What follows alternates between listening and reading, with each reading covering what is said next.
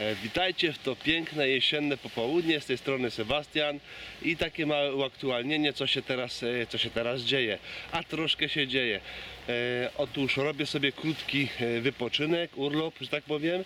Jedziemy z Agnieszką do Barcelony, spędzimy tam około tygodnia czasu i będziemy się tam przede wszystkim rozglądać za jakimś mieszkaniem, albo do kupna, albo do wynajmu. Z czego to wynika, że nagle taka decyzja? No oczywiście wynika z tego, że nie za bardzo spodobały nam się e, wyniki e, tych e, obecnych wyborów parlamentarnych. Tragedii nie ma, ale ja należę do ludzi niecierpliwych i nie chcę czekać e, 20 lat na, na jakieś zmiany. Pozwolę sobie tak bardzo krótko podsumować, jak, jak ja to widzę, dobrze? Jak osoba, która, jeżeli ktoś e, uważa, że mówię do rzeczy, to mam nadzieję, że i tym razem tak stwierdzi. Jakie jest moje podsumowanie tych wyborów? Słuchajcie, e, ja tych wyborców wszystkich podzieliłbym na trzy grupy. Pierwsza grupa, e, nazwijmy to najbardziej taka neutralna dla mnie, to są ci, którzy głosowali na, e, na PiS oraz Kukiza. To są osoby, ja je tak widzę, to są osoby dobre, aczkolwiek naiwne, ewentualnie e, bez takiej wiedzy e, politycznej. Czyli chcą, żeby było dobrze, chcą, żeby był święty spokój, ale do końca nie znają się na tym, e, nie wiedzą za bardzo, co ich otacza z takiego politycznego punktu widzenia i nie bardzo ogarniają, jakie są konsekwencje ich wyboru.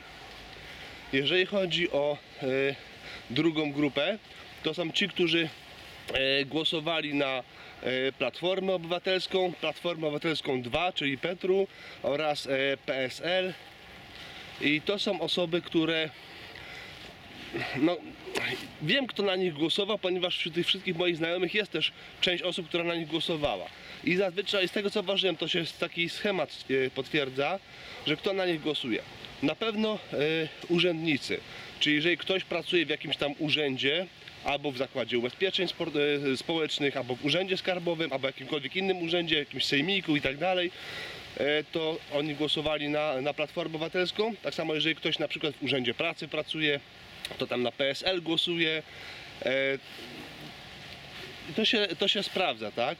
Oprócz tego ci, którzy pracują na przykład w takich bogatych, dużych firmach, e, które mają silne lobby, czyli firmy związane z ubezpieczeniami, z bankami, to oni też głosowali na platformę. Z czego to wynika? Chcą utrzymać swoje terytorium wpływów, że tak to nazwę. I to jest część, to jedna część osób, które głosują właśnie na PO, PSL i tak dalej, a druga grupa to są osoby, które zagłosują na każdego, e, którego e, podrzucą im e, media. Jak wiecie, gazeta wyborcza, wybiórcza, mm, TVN, Radio Z, jedynka nawet, tak?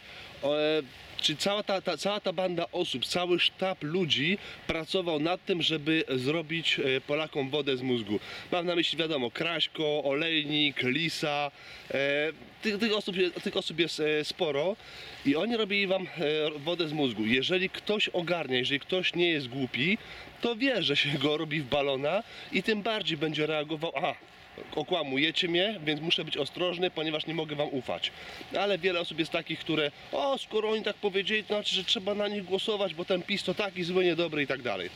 Dla mnie ci ludzie są straceni i, powiem, i to jest główny powód właśnie, znaczy jeden z głównych powodów, dla którego wyjeżdżam, Yy, ponieważ ta łączna liczba osób, które głosowały na te.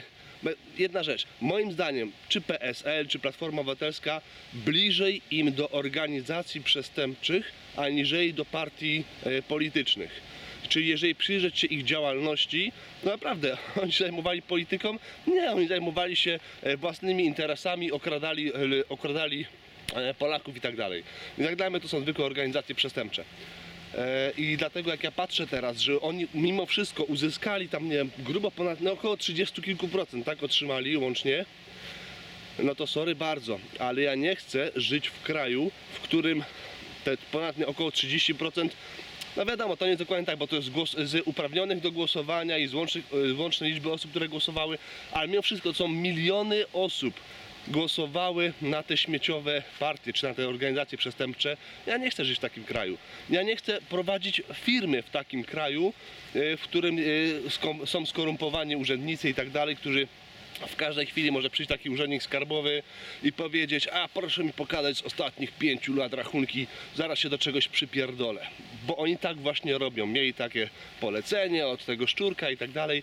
Nie chcę żyć w takim kraju i cieszy mnie to, że PiS właśnie, e, że e, teraz PiS będzie samodzielnie rządził, ale tak mówię, ja jestem, mam swoje lata i nie chcę czekać 20 lat na, na zmiany, a tyle czasu zajmie im wyczyszczenie tego, co spierdzieliła ta Platforma Obywatelska.